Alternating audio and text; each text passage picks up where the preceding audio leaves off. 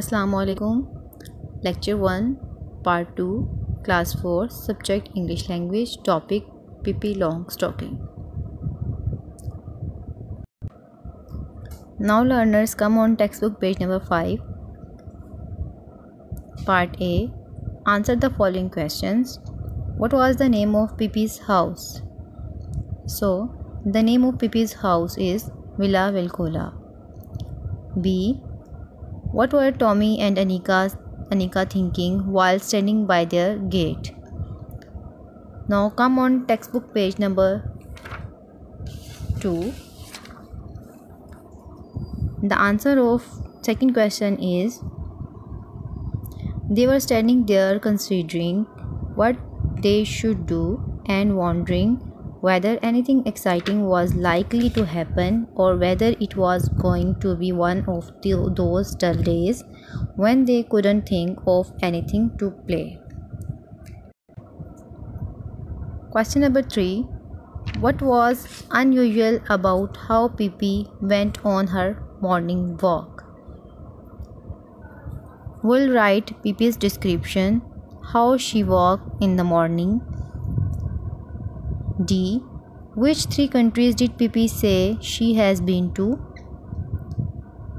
The first country is Congo. The second one is farthest, uh, farthest Asia. The third one is Egypt. E. Where were Pippi's parents? Her mother has died, and the second half part of this question is on textbook page number 4 her father is king, king of a cannibal island.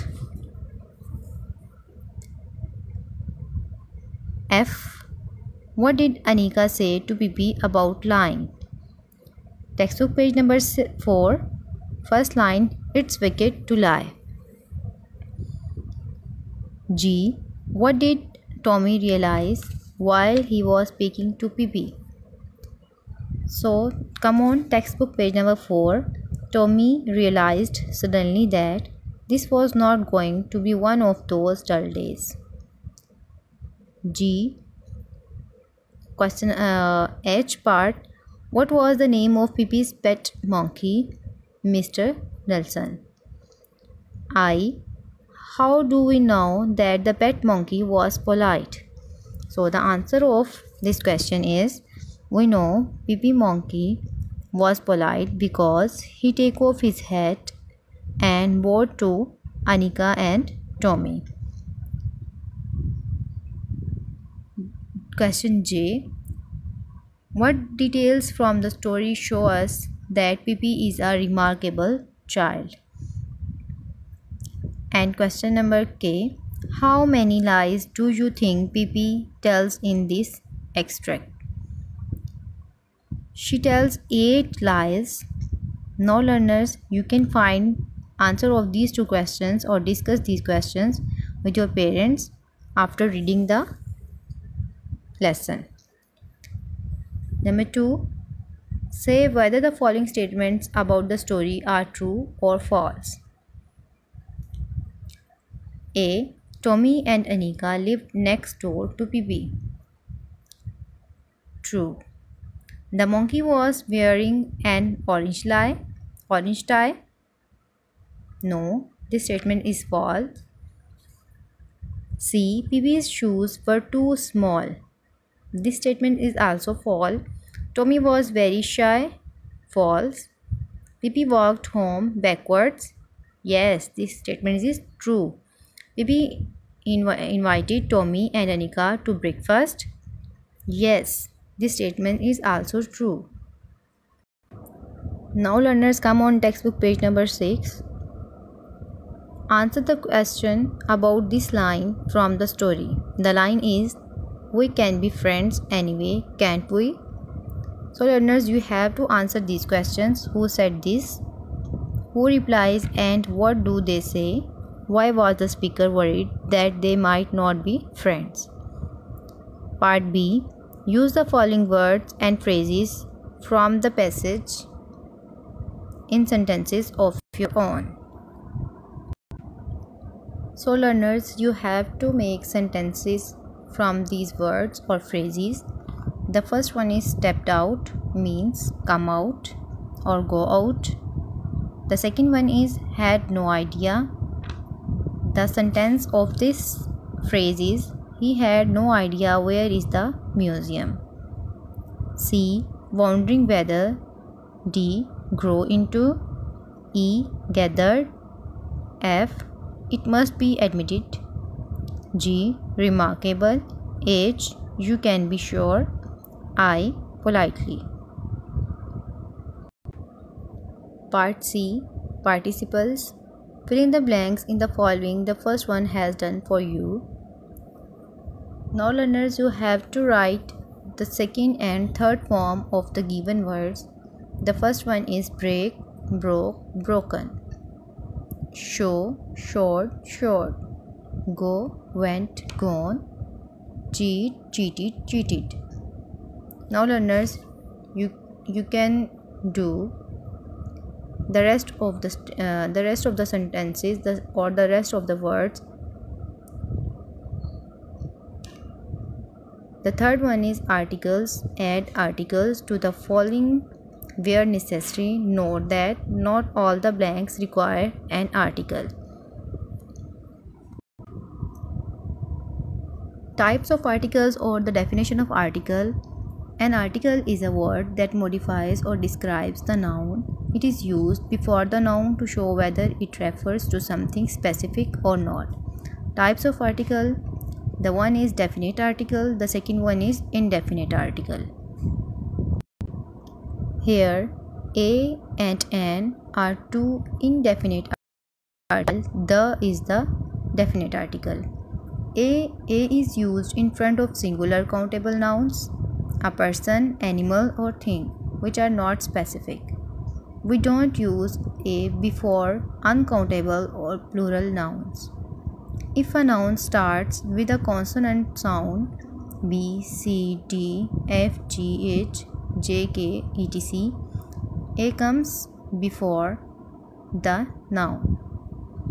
For example a dog a chicken a boy a teacher a girl a lesson a website etc and n is used in front of singular countable nouns which are not specific we don't use a before uncountable or plural nouns if the noun start with a vowel sound a, e, i, o, u and comes before the noun.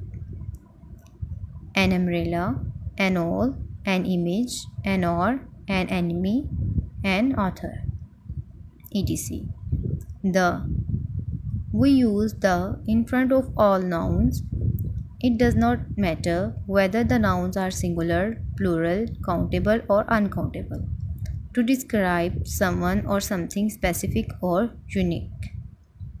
The moon, the world, the sun, the atmosphere, the rain, the south, the west, the north, etc. Now learners come on textbook page number 7 using who or which. Join the following sentences with who or which. Remember that we usually use who for people and which for things or animals. The first three statements I have done for you. This is the dog. It has a strange name. There, the dog is a is an animal, so we use which.